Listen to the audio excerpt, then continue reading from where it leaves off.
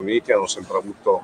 la grande capacità di stare dentro la partita facendo un lavoro difensivo importante, poi alla fine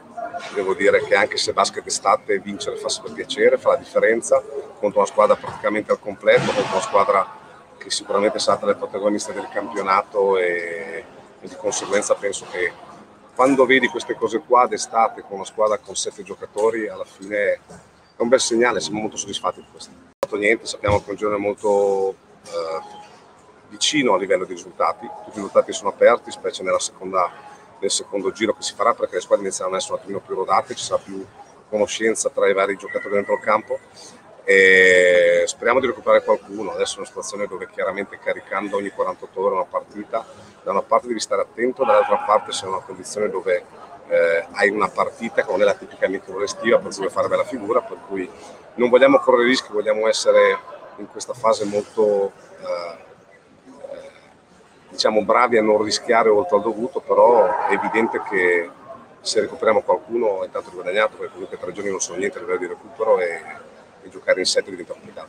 Gianmarco, dopo un minuto dall'inizio del terzo quarto ha detto una cosa giustissima ai ragazzi sul primo time loro,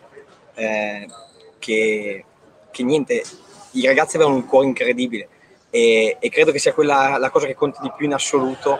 eh, perché in una partita come questa dove sicuramente c'erano delle defezioni, sicuramente le energie iniziano ad essere poche perché è la terza partita in sei giorni per tutti, eh, però noi abbiamo una situazione eh, di infortunati che non ci aiuta in questo momento. Eh, diciamo che il cuore dei ragazzi è quello che ha fatto la differenza, per cui è quello che ha ribadito ancora in spogliatoio Gianmarco a fine partita. E, è chiaro che con questo talento, con questa voglia, con questa conoscenza da pallacanestro, e con questo cuore diventiamo una squadra che rompe le balle a tutti. Ragazzi pazzeschi e anche oggi hanno fatto una partita eh, direi eccezionale perché poi eh, se stiamo a vedere non so quante squadre con pochi giocatori, con le energie completamente finite, sarebbero riusciti a mettere in campo questa energia fino alla fine. Abbiamo giocato punto a punto fino alla fine. Poi è chiaro che un tiro ti entra, un tiro ti esce, puoi vincere, puoi perdere all'ultimo secondo, però l'energia che hanno messo i ragazzi oggi in campo è qualcosa di spettacolare. Valore alto, un valore alto perché sono partite che,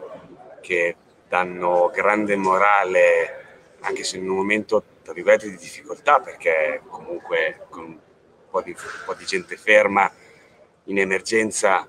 eh, si può fare più fatica, però sicuramente una, una, una, una, partita che dà veramente del gran coraggio, della gran voglia di poter fare ancora meglio la prossima volta e soprattutto di